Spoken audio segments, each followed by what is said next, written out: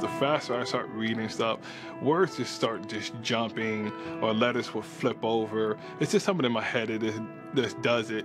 And as I'm reading, I'm like, whoa, that did not sound right. Your learning challenges shouldn't define you as a person. What I have and what I went through was, wasn't a curse. It wasn't something I will ever put my head down from. It makes you a stronger person. Growing up, Lawrence Guy was often shy and closed off.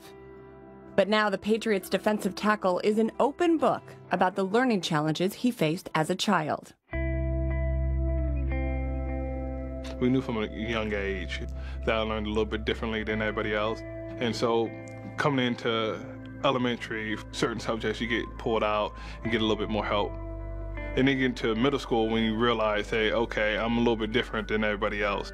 Then you have to deal with your peers is some don't understand, some want to make fun, and, and some do understand, but it's hard to relate to it. What was that like for you? How did your peers treat you?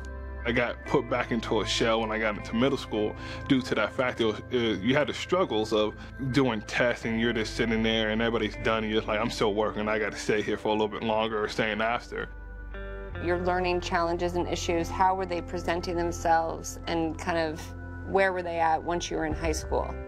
I had a little bit more of a handle on things, and the sports world helped me out a lot.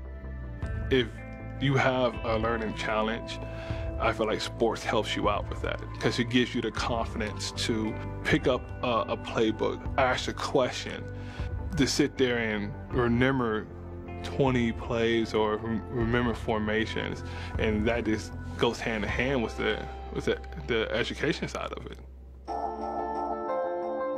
Despite educational obstacles, Lawrence became a four-star football recruit and chose to attend Arizona State University, a school whose Disability Resource Center, also known as the DRC, specialized in supporting students with learning challenges.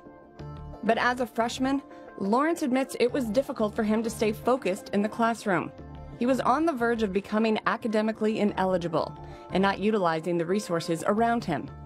An intervention was necessary.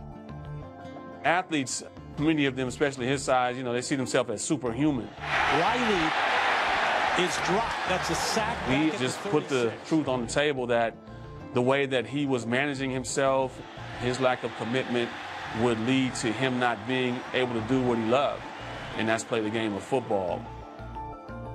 That kicked me in the butt and I started using the resources at the DRC building and had tutors for every class. And it, it started jumping my GPA up. And I believe the last, I think the last semester I was there, I had a 3.5. The DRC also discovered that Lawrence had undiagnosed conditions that affected his learning. Dyslexia, which centered around reading and interpreting words, and dyscalculia, which focused on mathematical problems.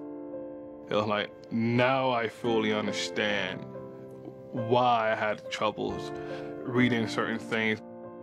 When Lawrence saw success in the classroom, I think it really was a transformation within him. It gave him a lot more confidence, both in the classroom and on the football field. The biggest stigma that athletes have when it comes down to talking about the, the learning challenges is no one wants to be called stupid. That's the thing that we need to break. It doesn't matter how the way you learn. Take the journey, embrace it.